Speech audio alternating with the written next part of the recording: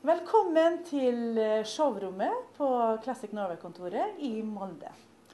Da har vi kommet til den tidspunktet vi skal trekke gevinsten i forbindelse med det stand som vi hadde på Gardermoen i januar. Eh, Og med oss for å bevitne det hele har vi med Jan Petter Hammerød, ordfører i Molde kommune. Takk for det. Og markedsansvarlig i destinasjonen Molde og Romsdal. Eh, Nede i dette ferdigskrinet her så ligger alle som har registrert seg i løpet av januar. Og da vil vi starte første trekning, som er en reise for to med Norwegian. eh, Et opphold på et valgfritt eh, hotell i Classic Norway med full pensjon. Og da er vi spent.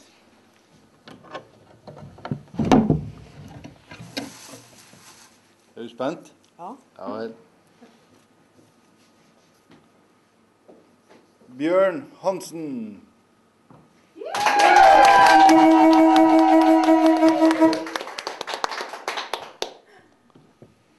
Så Torunn, har vi gevinst nummer to. Det er en reise for to med NSB fra Oslo til Åndalsnes.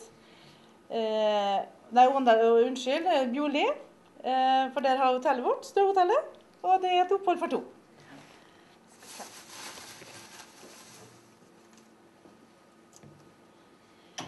Og her står det Eli Anne Kjærstad.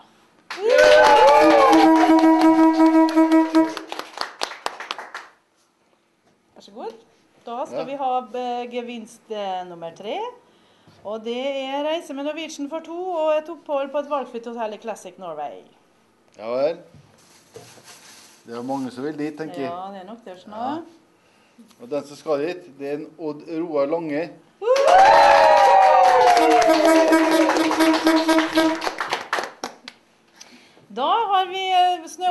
igjen og tur med NSB. Rote litt rundt, kanskje. Da har vi nå rota hele formiddagen, men eh, Og her står det Peter Huber.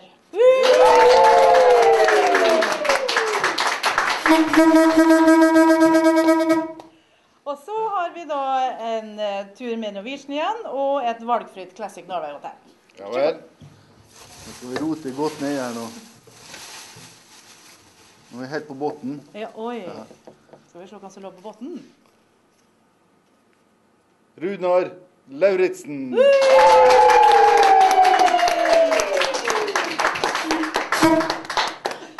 Så har vi siste gevinsten med NSB og Bjoli snøhotell. Skal vi se. Ja, ta på andre sida. Steve Røiseth.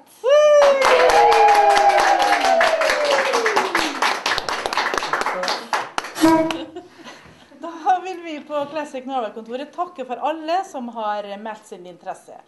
Og dere kan se fram til masse flotte nyheter i løpet av 2011.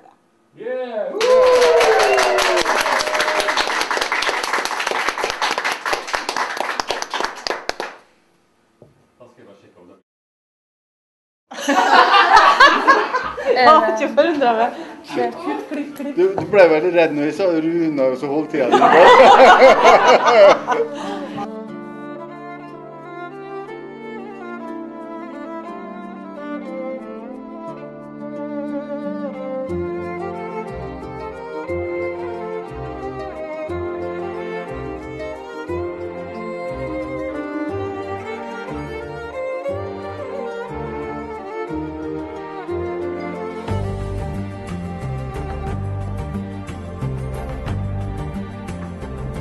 Thank